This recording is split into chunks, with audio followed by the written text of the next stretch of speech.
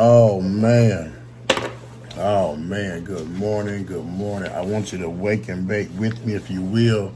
I say wake and bake with me only if you will. Huh? Today is a blessed day. You know why? It's a real one's birthday. Won't he do it? Come on now, he done did it.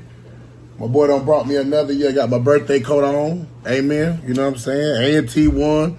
It's amazing the evolution of your birthday. It's amazing because when you're in your 20s, you expect all your friends to drop everything. Like if somebody has a funeral, fuck that funeral. You need to be at my birthday, bitch. Like fuck your job, your kids' responsibility. In your 20s, you expect everybody. In your 20s, you will go broke for your birthday.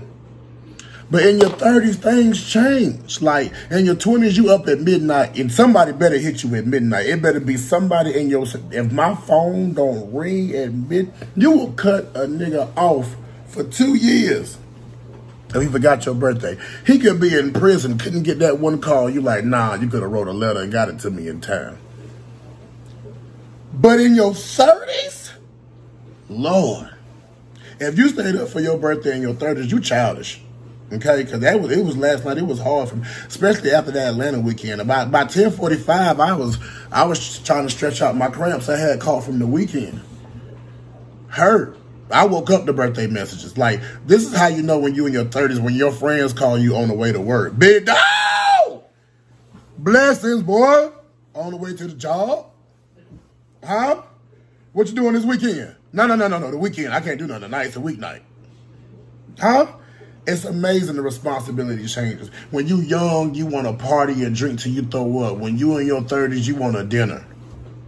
You, you want to be back at the crib by nine and watching one of your favorite shows or movies. I'm just happy God kept me, okay? I'm just happy he kept me, man. I'm glad I'm, I'm, glad I'm still standing. I caught two cramps at the celebration bowl. When the last time you caught a cramp in your side? I think I hugged and dapped so much that my sides contracted and I could I can't do this no more. I can't I can't do that no more. But I'm blessed to be here, man. Thank you so much for the birthday wishes. Keep smiling, keep it positive, man. Get high. And I know this is small, but I do have a backup. I will be smoking all day. Um, shit. Capricorns for life, ho. Jesus was a Capricorn.